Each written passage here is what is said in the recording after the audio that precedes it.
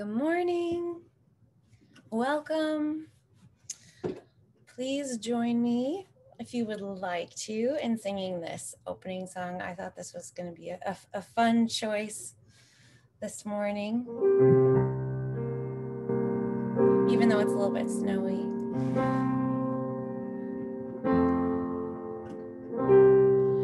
It's a beautiful morning.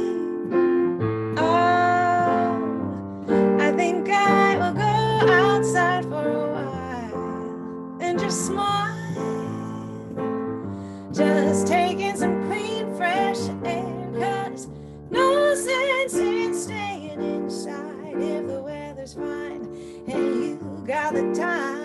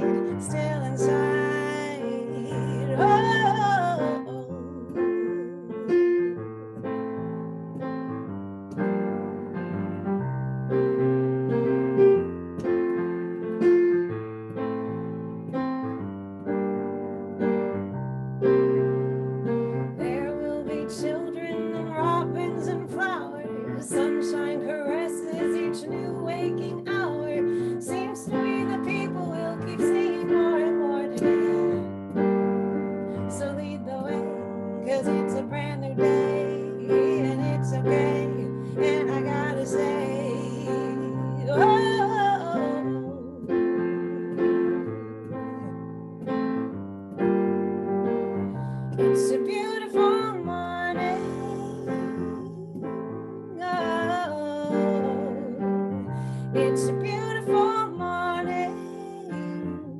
Ah, it's a beautiful morning.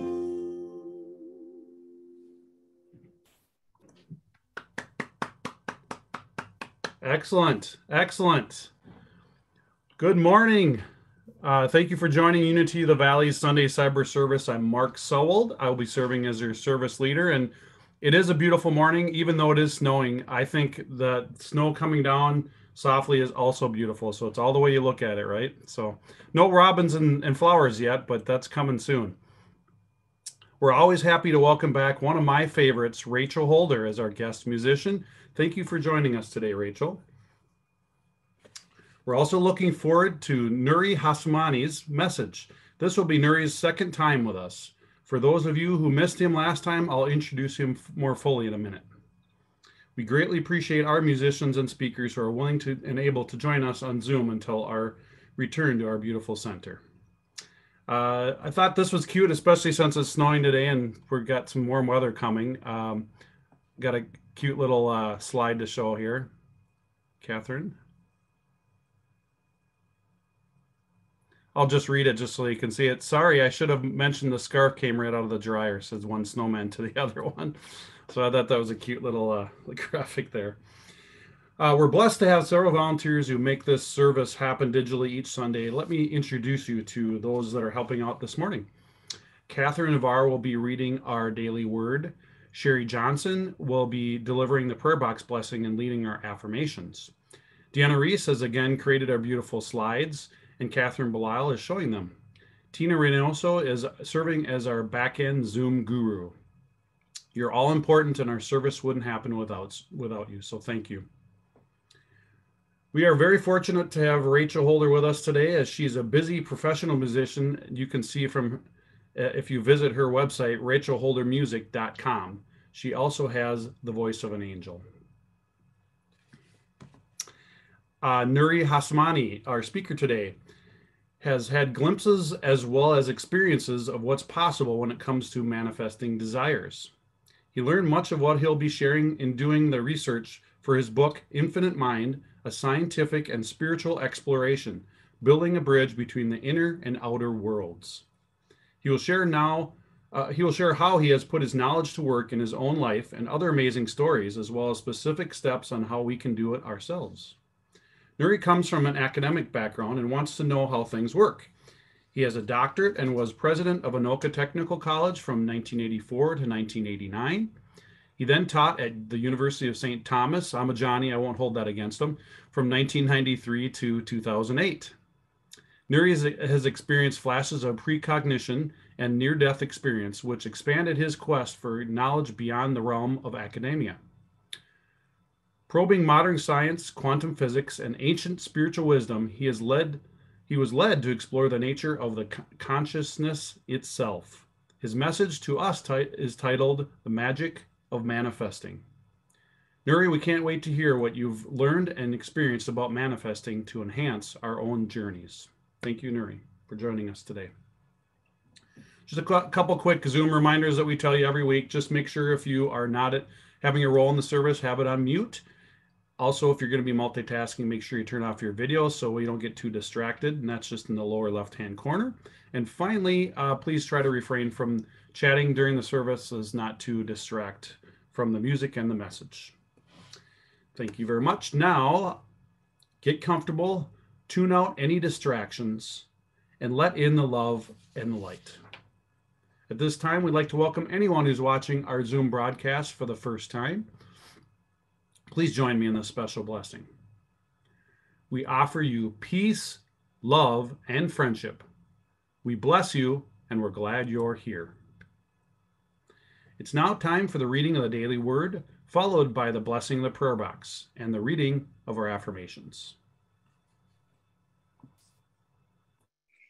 Good morning. We now move deeper into spirit with a reading from the Daily Word. On this Sunday, February 28th, 2021, the word for today is connection. I honor my connection with all people. No matter how great the distance that exists between me and the people I care about, I know we are connected by our love for one another. Today, I reestablish and strengthen this connection by reaching out, even if it's only to let someone know I am thinking of them. Our connection is also kept strong through prayer. As I pray for those I care about, I bless them by holding my highest vision for their lives, seeing them as healthy, prosperous, happy, and fulfilled. Whether we're in frequent contact or have fallen out of touch, my connection with my loved ones remains strong because we are one in spirit, one in love. In the reading from Corinthians 12, verse 13, for the one in spirit, we were all baptized into one body, Jews or Greeks, slaves or free, and we are all made to drink of one spirit. The word for today connection. Namaste. Good morning. Let's remember that this prayer box holds an infinite number of virtual prayers. So I invite you to silently add your own names and the names of anyone in your heart or on your mind who may need prayer support. These virtual prayers are known and will be addressed by the infinite. We know that the truth behind all appearance of disharmony is the divine and perfect presence of the infinite, which we call God. We call forth within all people the wisdom and strength, the love and peace, the wholeness and vitality of this perfect presence. We affirm that the requests in our prayer box and in our hearts and on our minds are being resolved in divine timing for the highest good of all concerned. We send love and light not only to these people and circumstances, but to our community, our country, and our world. May the love of God enfold us. May the peace of God uphold us. May the wisdom of God inspire us and help us to know in our hearts that all is well. And so it is. Please join me for the uh, affirmations today for our the affirmation for the day. I manifest the very best in my life, aligned with my highest good and God's will. And now, the affirmation for our spiritual center. We give thanks that Unity of the Valley is a prosperous, thriving, inspired, connected community. We are growing spiritually and manifesting our dreams and goals in an energy of love, peace, and joy. And so it is.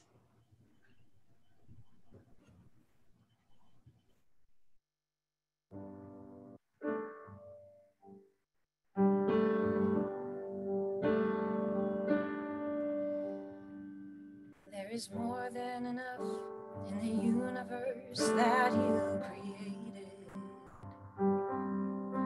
There is more than enough on a planet of sacred design. There is more than enough for humanity made in your image. Why would I worry? Why would I doubt? Why would I ever think I'd go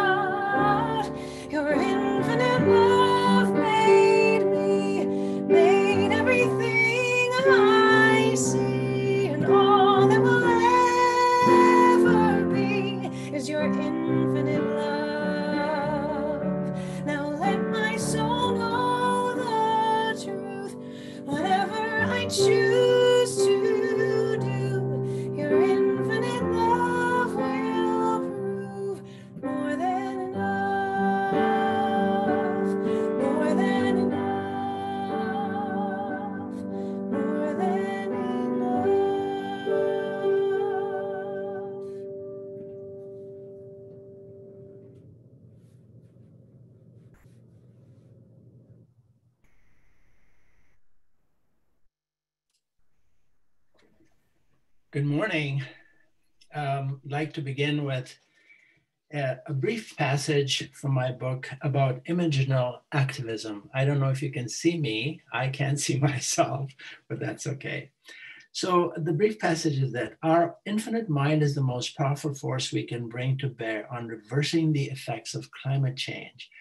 And uh, we're well aware of what's going on the planet and uh, our thoughts and our wishes can in fact change the very nature of the planet itself. We can access it during a quiescence reached in meditation and by imagining the state desired. Using imaginal activism to avert climate change simply means imagining a healthy and sustainable world. So let me um, ask you to just uh, be quiet for a little bit, breathe in, and um, relax. Calmly breathe in and out. You can close your eyes if you like. When you reach a peaceful state, imagine being in an enchanted forest on the shore of a river. It is peaceful here. The river is calm and the forest is serene and beautiful. You feel blessed to be here and you continue to breathe with ease. You feel like moving closer to the river, and you do. You are close enough to touch it, and you do. It feels soft, wet, and cool. You're delighted by this feeling and you smile.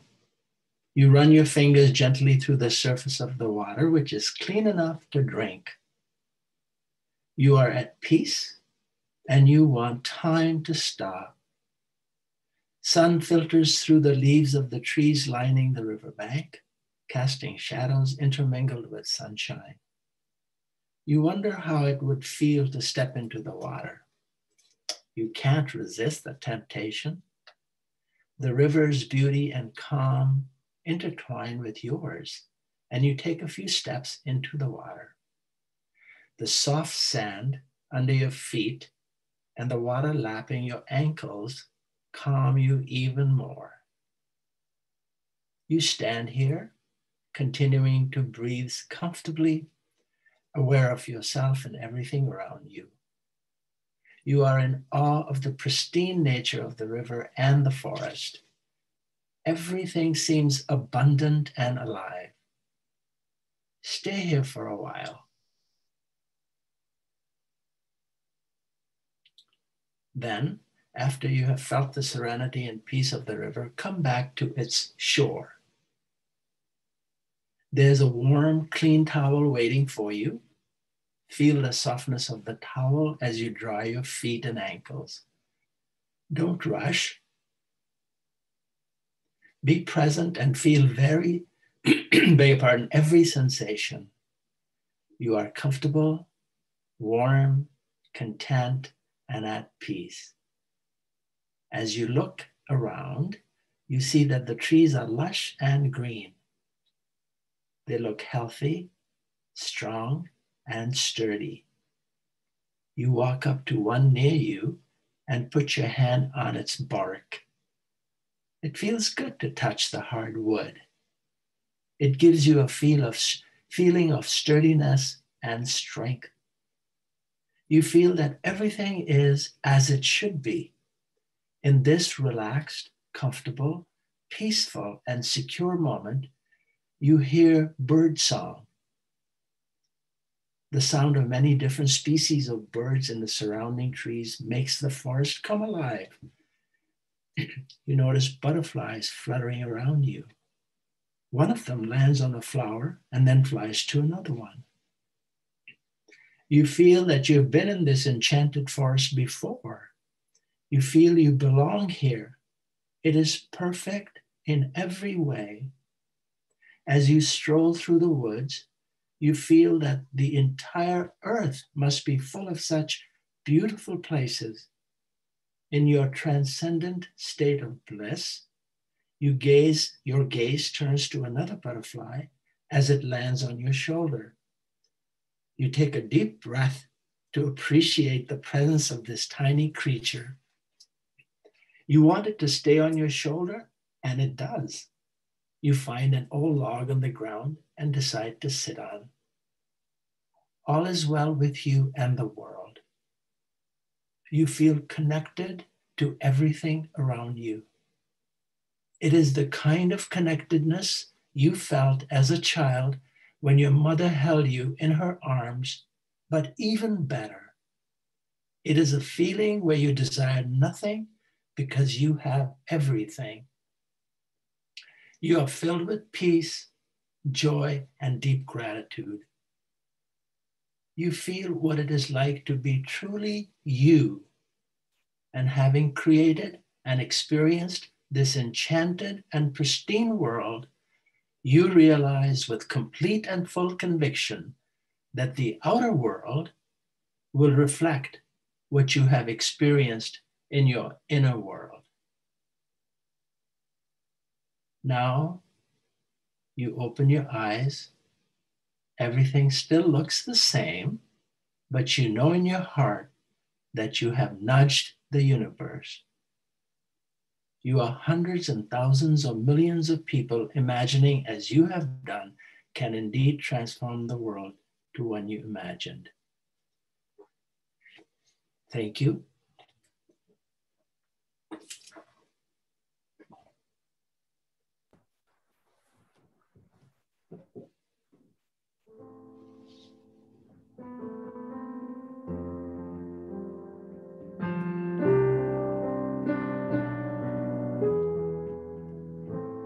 Let me run through a field in the night. Let me lift from the ground till my soul is in flight.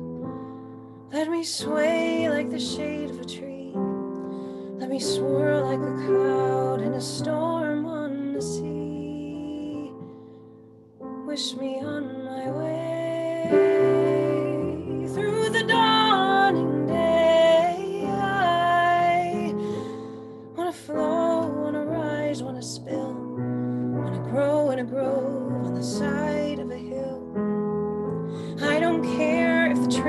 runs late, if the checks don't clear, if the house blows down, cause I'll be off where the weeds run wild, where the seeds fall far from this earthbound town, and I'll start to soar. Watch me rain till I pour. I'll catch a ship that'll sail me astray, get caught in the wind. I'll just have to obey till I'm flying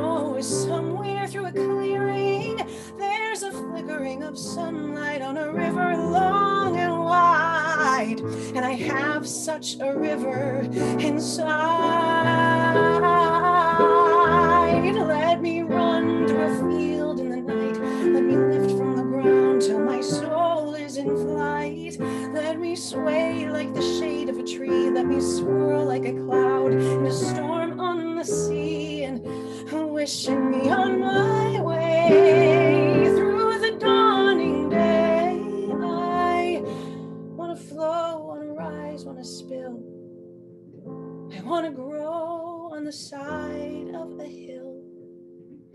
I want to shift like a wave rolling on. I want to drift from this path I've been traveling upon before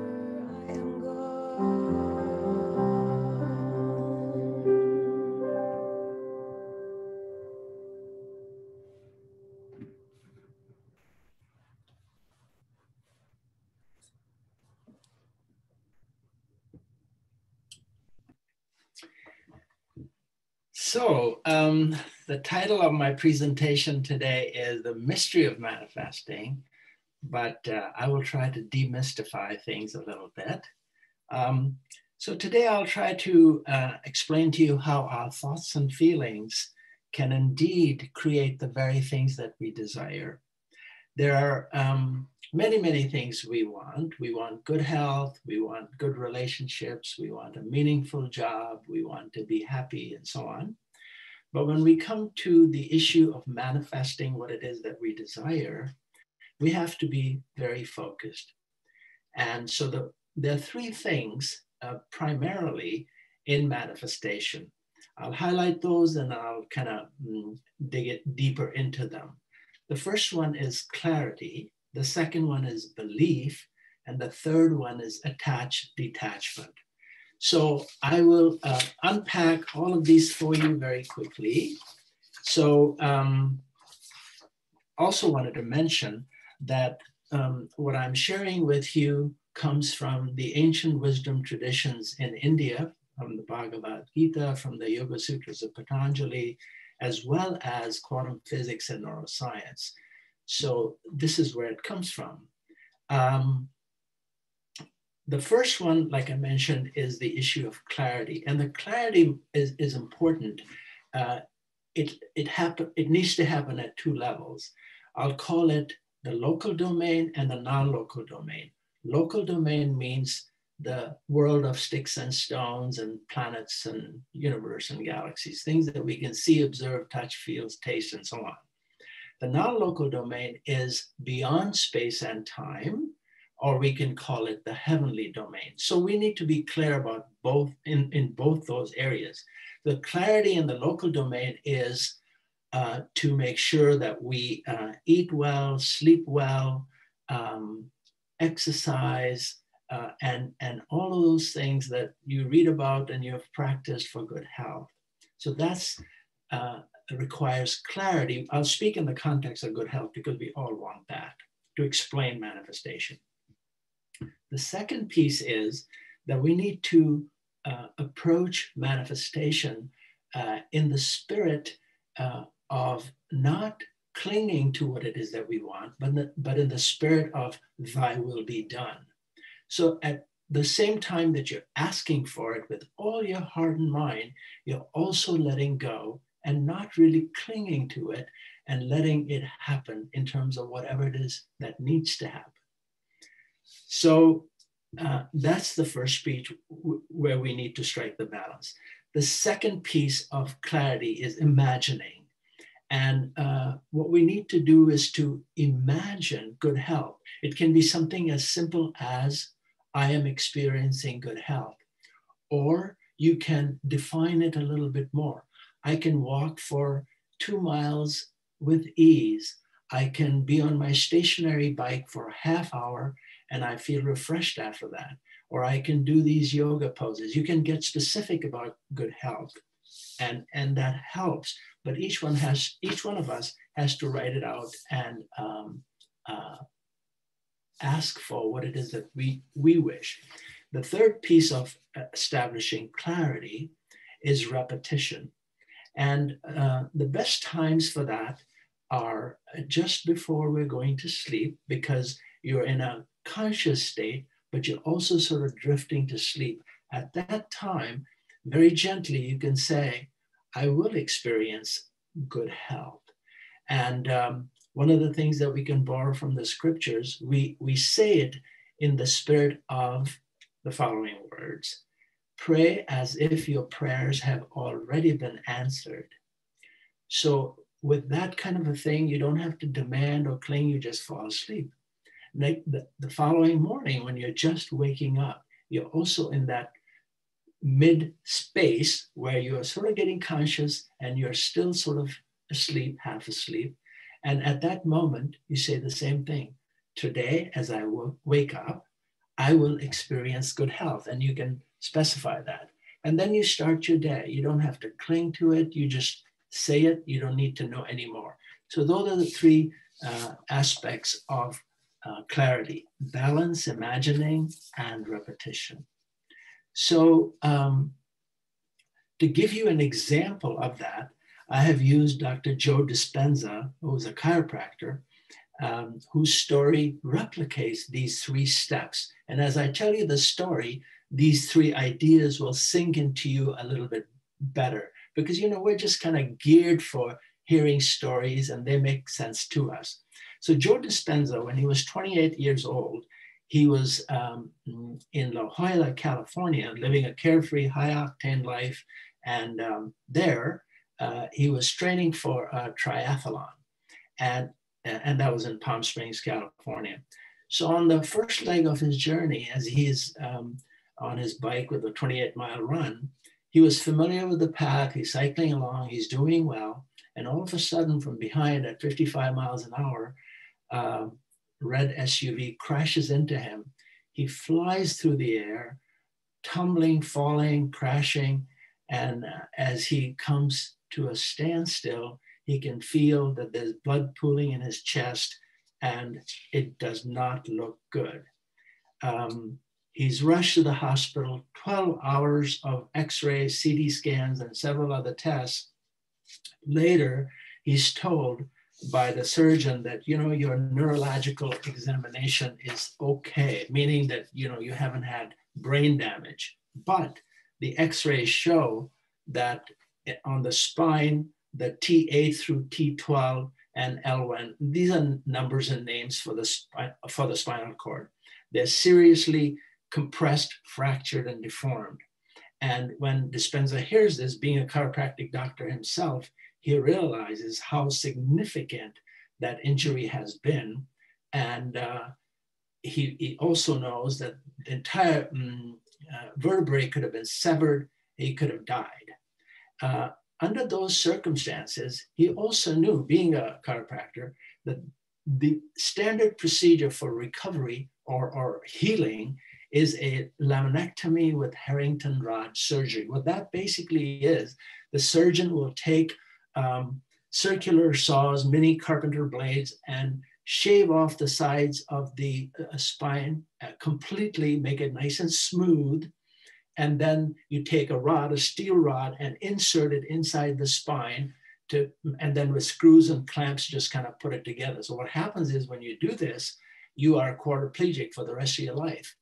And, and Joe Dispenza knew that, that that is what's needed, but he could not see that happening to himself because he, he realized that the, the, the deep intelligence, the infinite intelligence, uh, which is in every one of us, was helping him heal.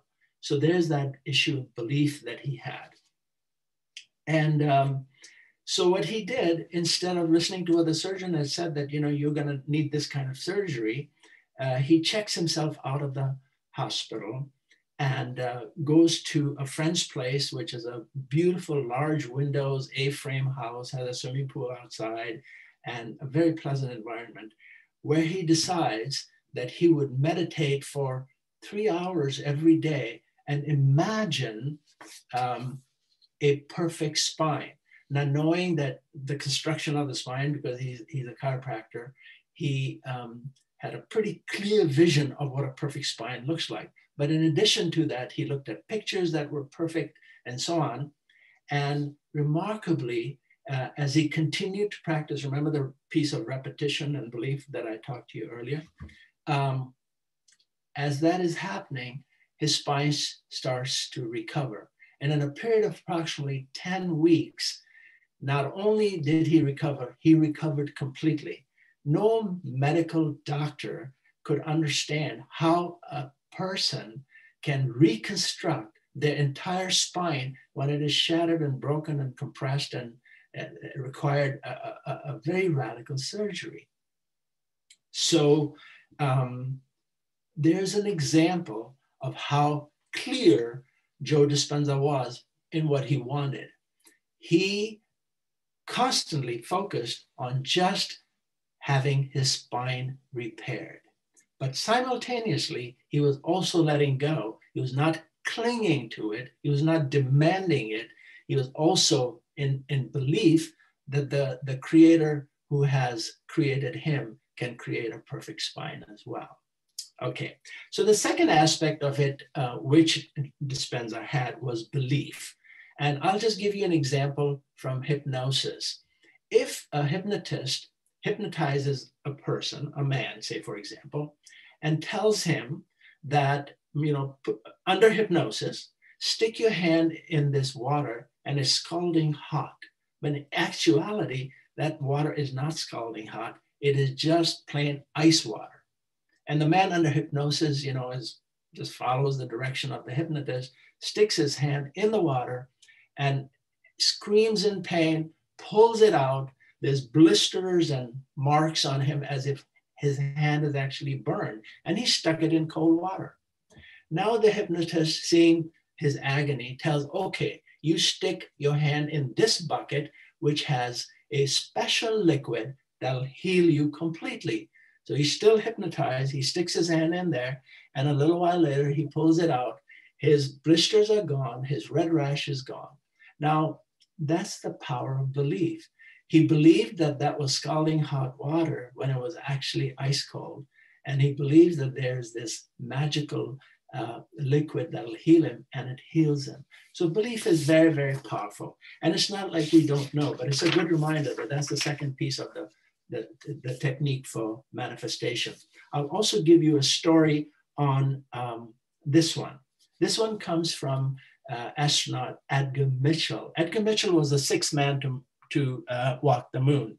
And after he had uh, come back from that journey, immense journey of having walked on the moon and so on, obviously there were many, many people who were very interested in hearing him talk. What was his experience like and so on. So at a conference in Texas, in Houston, he um, uh, this was his first talk after he had gotten back. So his mom from, uh, from uh, Arkansas had dri driven with somebody else to listen to him talk. But in the audience, there were many different people. There was one gentleman by the name of Norbu Chen, and Norbu Chen was a Buddhist. And um, he claimed to uh, uh, Edgar Mitchell, the astronaut, that he was a healer. And um, Mitchell, being a quantum physicist, an astronaut, and you know Navy pilot and all that, he he really didn't believe that there's such a thing as somebody can heal you. But Norbu, Norbu Chen says, you, you give me a task and I'll do it. Now his mom was there uh, at the conference and she was legally blind. She had glaucoma, and uh, but she was too worried that if there's a surgery that she might lose her eyes completely. She just happened to feel that way. And so she wasn't going for surgery and, and just kind of walked around almost blind. So he said, okay, I have someone that you can heal. He brought his mom to his suite in, in the hotel where he was staying, invited Norbu Chen to the same place. Norbu Chen came and just very gently said, well, I will just put my uh, hands over your face, not touching, just go over them. And um, uh, uh, Mitchell's uh, mom believed that she would be uh, cured. For some reason or another, she felt very peaceful in uh, Norbu Chen's presence. And he just did that. And he said, Now you go, you're healed, treat yourself kindly. And she did. The next morning, she came running into uh, Edgar Mitchell's uh, hotel suite again and, and saying, I am healed. I can see. And she was so emphatic about it. She had her glasses in her hand. She said, I can see. She threw her glasses on the floor, crushed them. And Mitchell is like astounded. My goodness, this actually worked. And uh, so a few, so, oh, oh, and then instead of having been driven back, she drives back herself. And six months, no contact lenses, no nothing. She's doing just fine. And she's curious to know who Norbu Chen is. So she called her son and said, Well, who is this gentleman? And what's his faith? And now she was a fundamentalist Christian.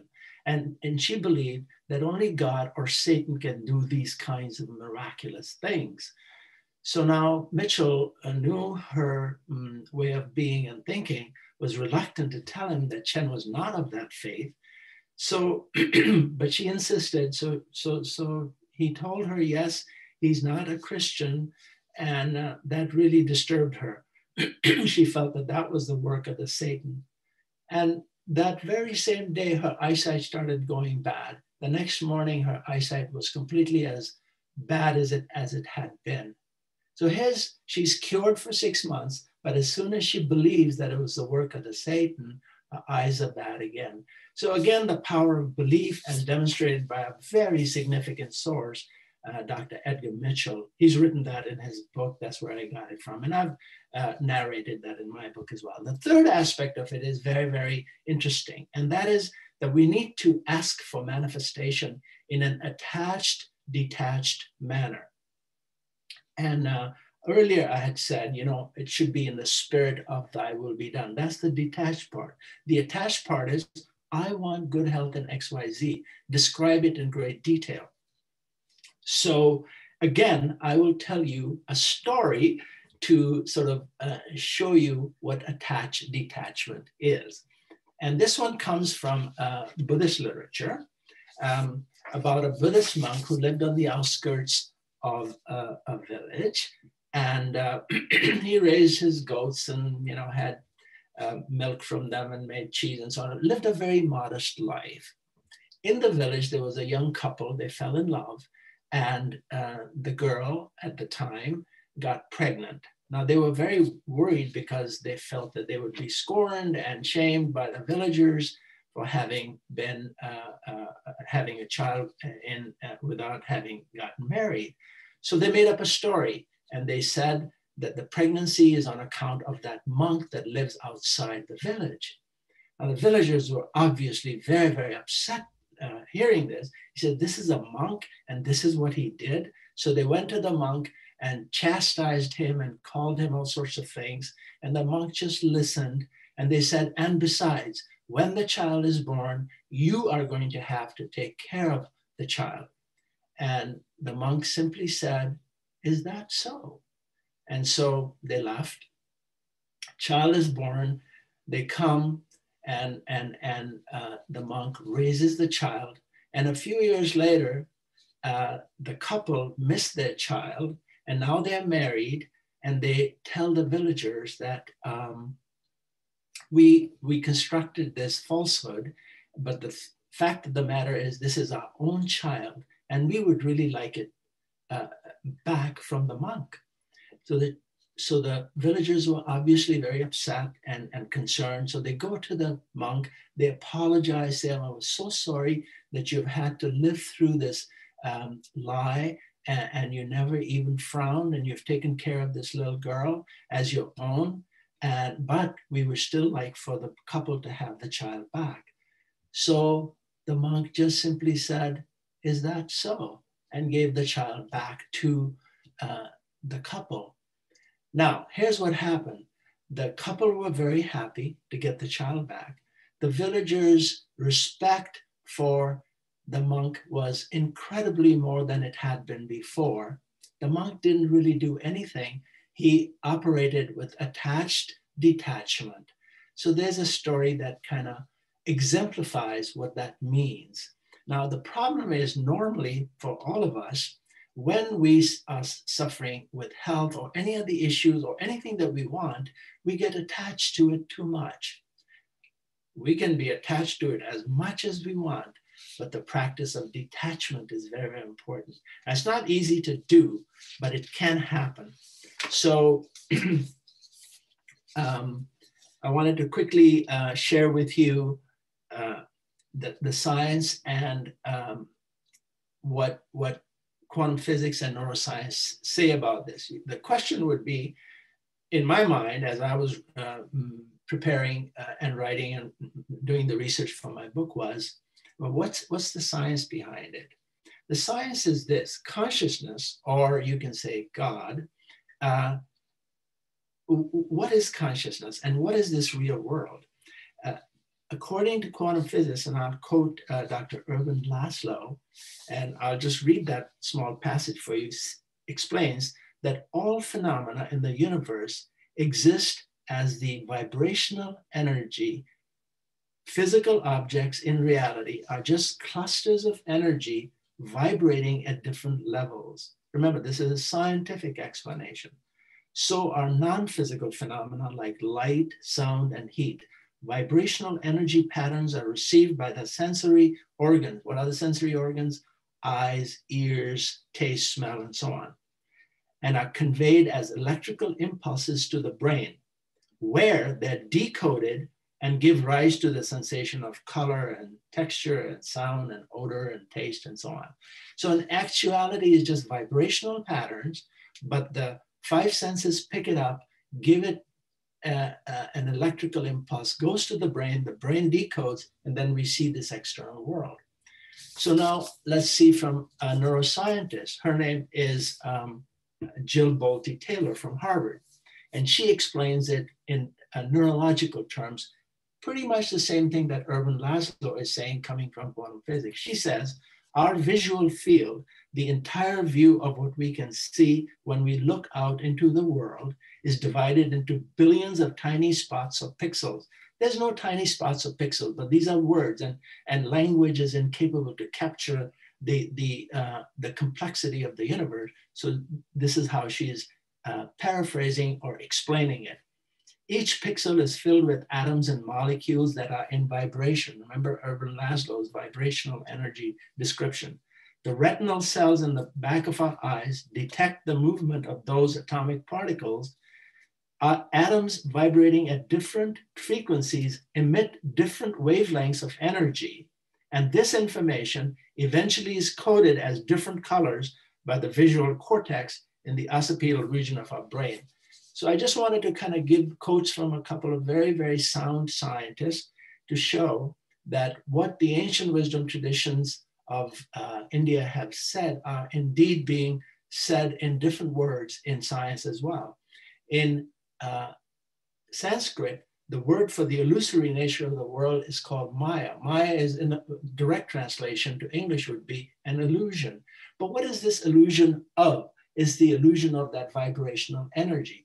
There's another principle that is very important to kind of keep in mind, and that is all of these physical objects of sticks and stones and everything that we see, hear, touch, and taste and smell is really a, an expression of thought. Whose thought? God's thought. So um, in science, uh, during the days of Einstein, more than 100 years ago, it was discovered that the um, uh, molecules, which are called subatomic particles, actually come into existence only on observation.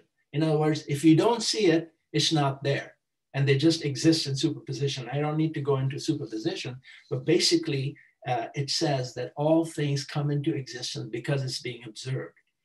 So the question that comes to mind is can our thoughts interact with that vibrational energy?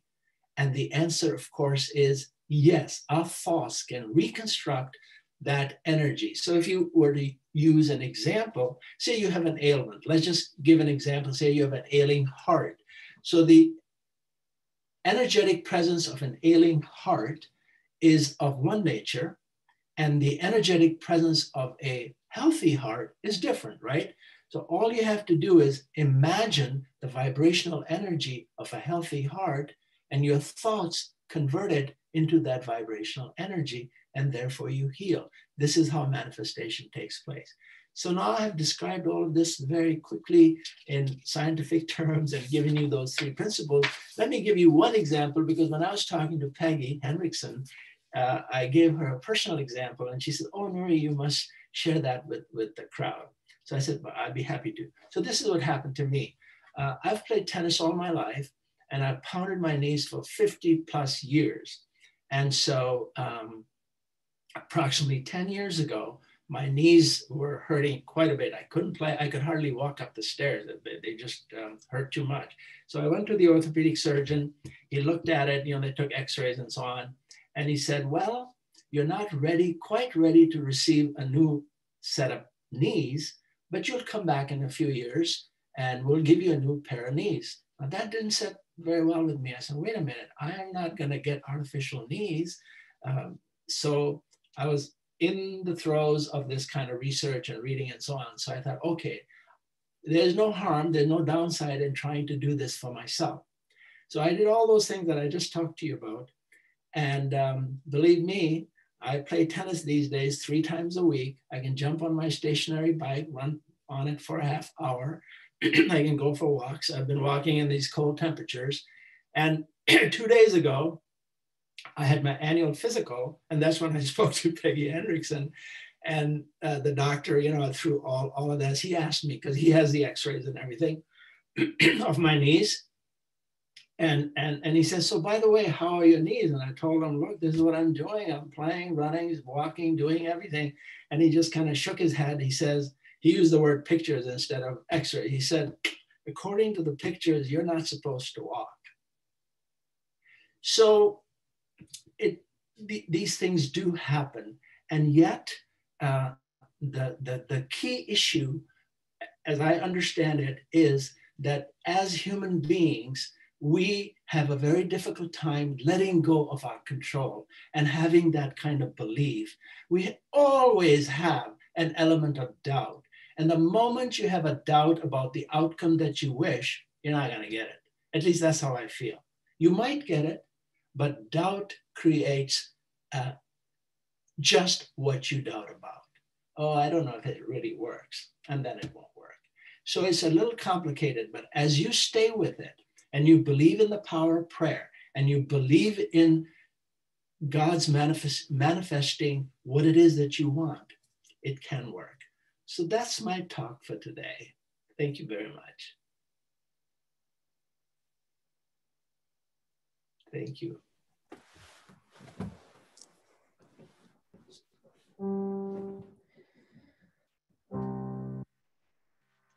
Life is a journey not a destination.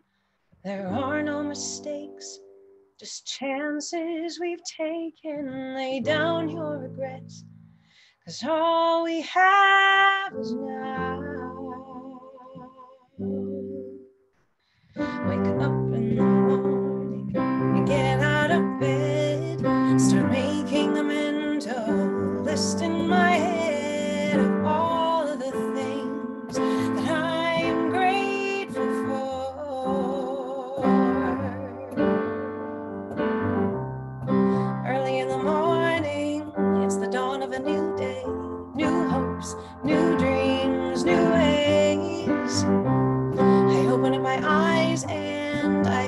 My mind and I wonder how life will surprise me today. Early in the morning, it's the dawn of a new day, new hopes, new dreams, new ways.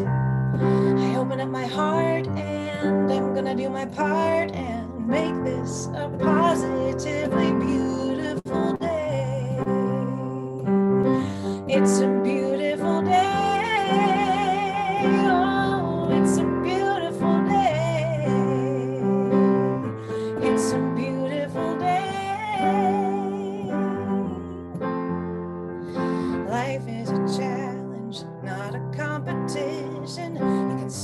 smell the roses and be on a mission. Just take a moment to get in touch with.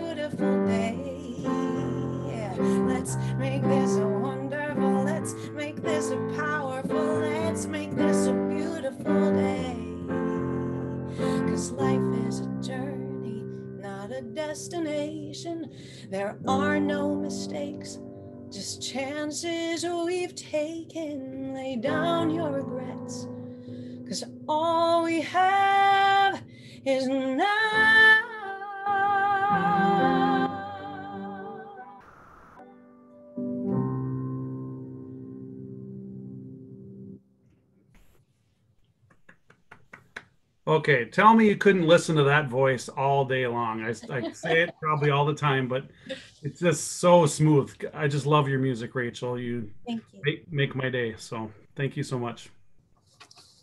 And Nuri, uh, great information. It's a, a very complex. Um, so if you just started out with all your uh, definition, scientific definitions, I think you might lose us right away because uh, you know after you tell all your stories and explain everything, and then you tell that, it was a good way to do it because it really helps us understand it better. I, I also have a, I mean, most of you guys know I say it always about my wife and the things she's been able to overcome with her neuro, linguistic programming. But I also know a guy who's a speaker, a sports psychologist. His name is Scott Welly. And he talks about, he runs, he has run several hundred mile marathons. And we always ask him, how do you do that? How do you train for that? Do you, do you, do you run 100 miles and train? And he said, no, they don't. They don't actually run more than 20 like like a regular marathon to train for that and you're like well how how do you do it and he said the thing is it's after you get to a certain point it's all up here it doesn't have to do with your physical uh, training you have to mentally get to that point to do it and you doubt yourself during the way but you have to show the confidence i can do this and and he that's what he talks all about both in that that adventure and just sports psychology he, he talks all about how you think the things you think make what you how you succeed so um, very good information. Thank you, Nuri. All right. Um, in this time of COVID and Zoom, we still have considerable expenses to maintain our beautiful center in anticipation of our eventual return. All of us who are fond of and connected to Unity of the Valley are immensely grateful for your monetary contributions and your participation in our services to support the, our spiritual community. We affirm the natural expansion of our own prosperity as well as that of Unity of the Valley as we give of our time, our talents, and our and treasure with the high vibration of gratitude and an open heart. Let's read the love offering affirmation together, and then you'll have time during the musical interlude to consider your love offering. You may check make your contribution after the service either by mailing a check to the center or via the donate button on our website. Please join me in this love offering affirmation.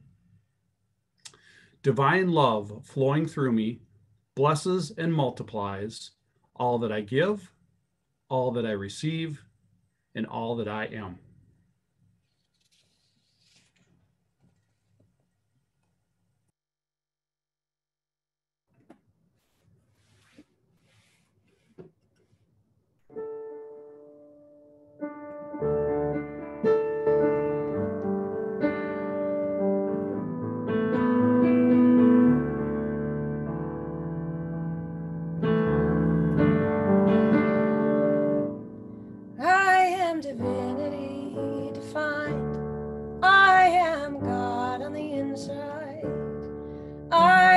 Star, a piece of it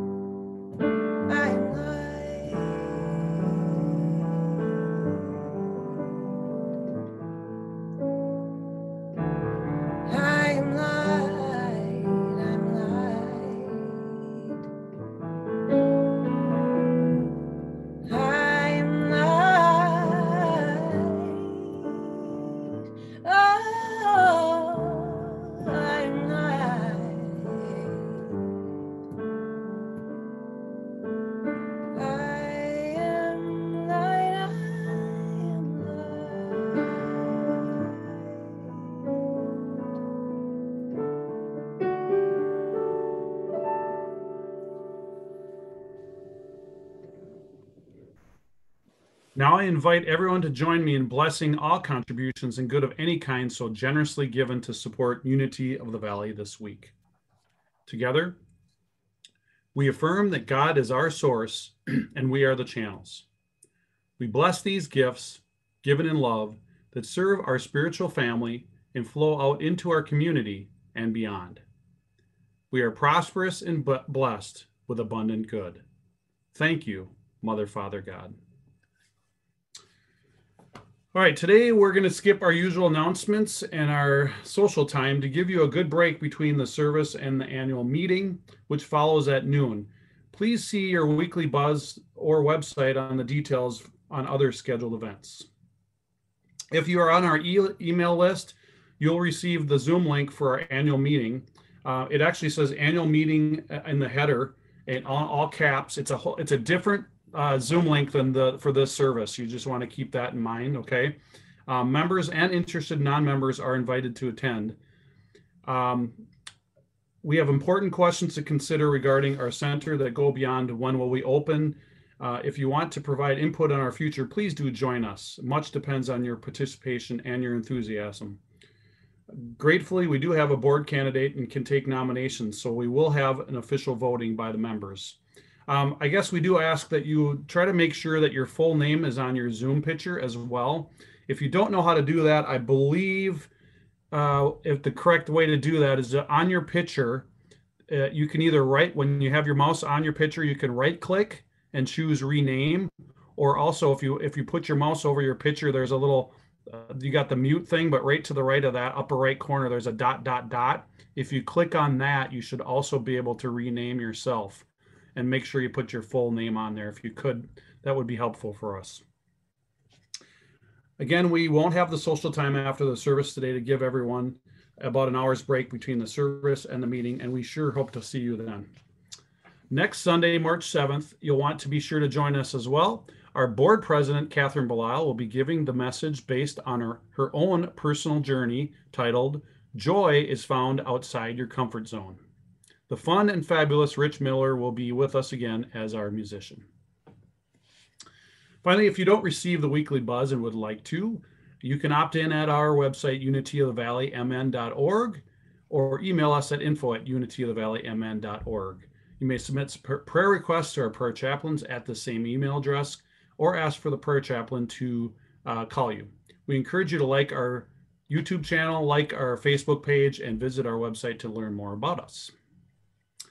Please now join me in our prayer for protection.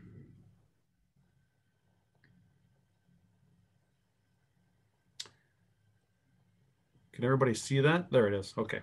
The light of God surrounds me. I am that light. The love of God enfolds me. I am that love.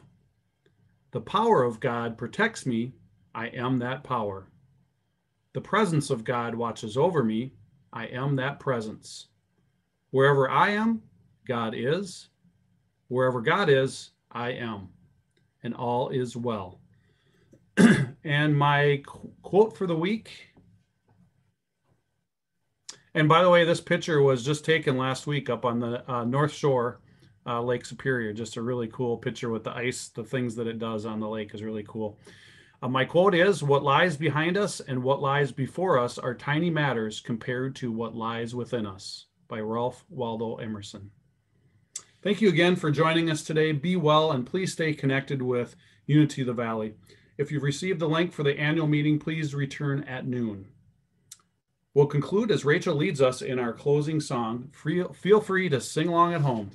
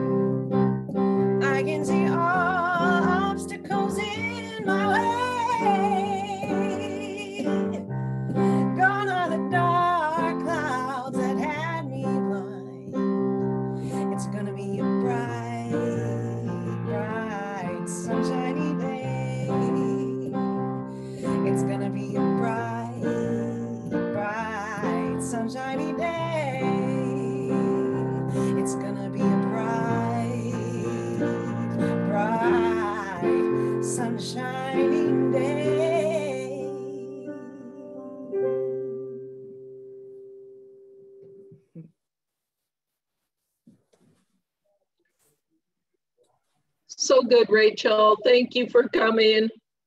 Thanks for having me.